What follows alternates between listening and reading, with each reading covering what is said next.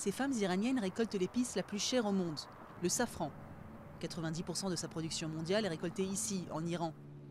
Mais ces petits filaments rouges font aussi le bonheur des gastronomes dans le monde entier. On les retrouve dans la paella, le risotto milanais, certains carrés indiens ou encore la bouillabaisse. La floraison du crocus ne dure que 10 jours par an, habituellement en novembre. Mais sa récolte est actuellement menacée. En cause, la sécheresse chronique qui sévit depuis une vingtaine d'années dans les régions arides du pays. La sécheresse commence dans la province du Khorasan, au sud, comme dans la ville de Gayenne, et se propage vers le nord. Cela signifie qu'à l'avenir, nous n'aurons peut-être plus de safran ici.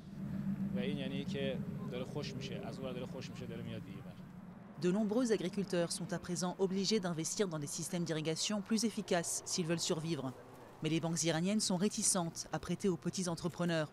Cette usine a recours à des moyens modernes pour exporter chaque année 15 tonnes de safran de première qualité et ainsi promouvoir le label Produit en Iran. Faute de publicité ou de promotion, le safran iranien n'est pas reconnu à sa juste valeur à l'étranger.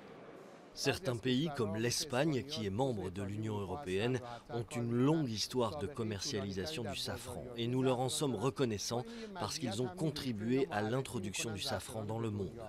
Autre difficulté pour la filière du safran iranienne, la récente chute de la monnaie qui induit une forte inflation. Sur les marchés locaux, le kilogramme de safran se négocie autour de 600 euros. Une fois exporté à l'étranger, il coûte 4 fois plus cher.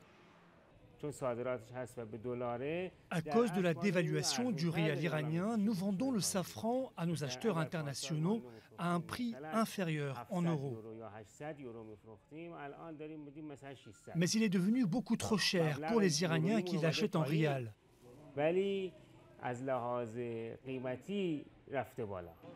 Un rial faible qui a un avantage, favoriser les exportations, dopées par un récent intérêt des Chinois pour l'or rouge. Et le safran, contrairement au pétrole, n'est pas visé par les sanctions économiques américaines contre l'Iran.